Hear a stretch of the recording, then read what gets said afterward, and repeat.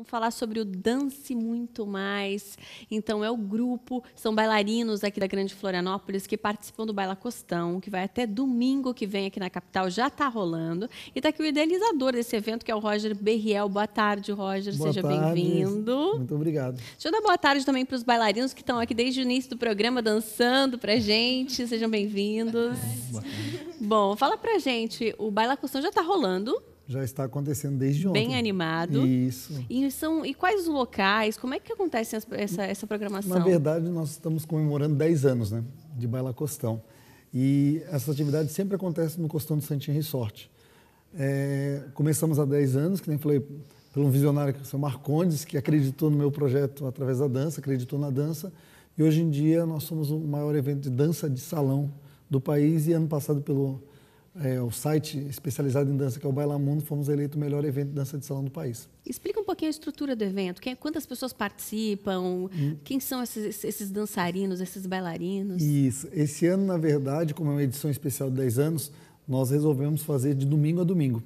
Antigamente era sempre de quinta a domingo. Então, o conceito do evento é o quê? A pessoa se, vir se divertir em Florianópolis, ficar num, num resort que é o Costume Santinho e ao mesmo tempo dançar, que é o que eles gostam. Aprender também, Aprender, né? Aprender, na verdade, porque nós temos mais de 130 professores envolvidos diretamente, professores renomados nacionalmente, internacionalmente, Jaime Arocha, Legal. vários profissionais envolvidos mesmo. E, e ao mesmo tempo é aquele evento que a pessoa que não sabe dar dois para cá e dois para lá, ela vai conseguir fazer isso. E aquela pessoa que já dança há algum tempo, ela vai estar junto com aqueles ícones da dança de salão nacional. Olha que legal. e falando diferente. em ícones, tem, tem um destaque aí que é a Paloma Bernardes. Exatamente. A gente tem imagens dela até para rodar, inclusive. Quem é a Paloma? Na verdade, a Paloma, no passado eu vi esse projeto, é um trabalho que o David Pinheiro faz com a Paloma. A Paloma ela tem síndrome de Down, mas na verdade hoje em dia ela conseguiu um espaço mundialmente na dança de salão. Ano passado, esse ano ela teve em Miami, no Congresso Internacional de, de Salsa. Vocês podem ver as imagens é, é uma lição de vida para nós que dissemos que não vamos conseguir dançar nunca. E para quem já dança, fica assim, meu Deus, ela tem síndrome e olha o que ela faz. Então por que, que eu não vou fazer? Então é um trabalho muito legal. Até legal. pegando a deixa do IGK, né? Na verdade, tem tudo a ver.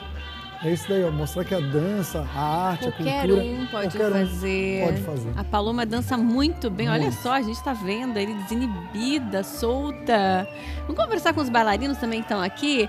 O Felipe, que é quem vai representar o grupo aqui. Felipe, é difícil. Vocês dançam super bem, mas leva um tempinho para chegar nesse nível?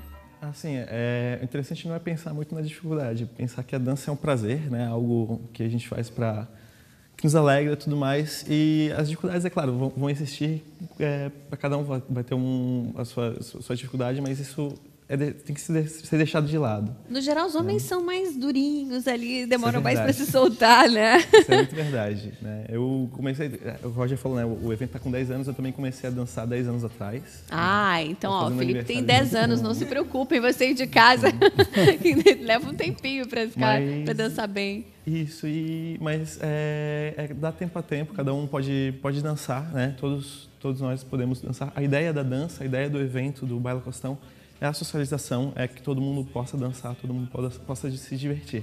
Olha que legal, parabéns. E vamos soltar uma trilha para o pessoal dançar um pouquinho para a gente aqui enquanto eu termino de conversar com o Roger, porque, Roger, qualquer pessoa mesmo pode participar, mesmo que não esteja hospedada lá no Na verdade, local. assim, é de, a gente, todos os bailes são abertos ao público, tá? É só chegar na recepção e adquirir o, o convite para os bailes. De segunda a quinta-feira eu consigo ter o day use para a pessoa participar das aulas, dos bailes, das atividades.